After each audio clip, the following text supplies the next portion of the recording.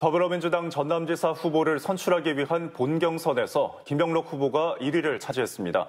예, 하지만 과반을 넘지 못해 김영록 후보는 2위 장만채 후보와 결선 투표를 치르게 됐습니다. 서울방송본부 강동일 기자입니다. 민주당 전남지사 본 경선에서 김용록 예비 후보가 40.93%의 득표율로 1위를 차지했습니다.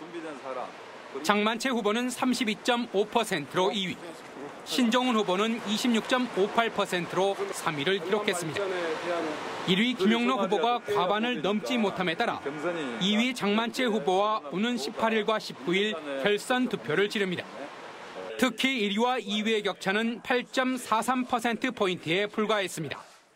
결선 투표의 향방은 3위인 신정훈 후보가 올린 득표율 26.58%를 누가 얼마나 가져가느냐로 판가름 나게 됐습니다. 김영록 후보는 대세론을 바탕으로 신정훈 후보를 지지했던 권리 당원들의 지지를 이끌어낼 것이란 자신감을 나타냈습니다.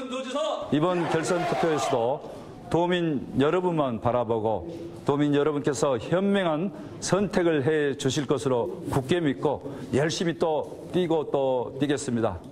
반면 장만채 후보는 1위와의 격차가 크지 않다며 전남 동부권의 지지 기반을 바탕으로 한 역전 승리를 기대했습니다. 여기까지 지지해 주신 도민 여러분들께 감사드리고요. 앞으로 어, 남은 이제 결선에 충분히 대비해서 승리할 수 있도록 하겠습니다. 1위를 차지한 기세를 몰아 승리하려는 김영록 후보. 마지막 역전극을 자신하는 장만채 후보. 국군 달아오른 민주당 전남지사 경선은 오는 18일과 19일 결선 투표에서 최종 판가름 납니다. KBC 서울방송본부 강동일입니다.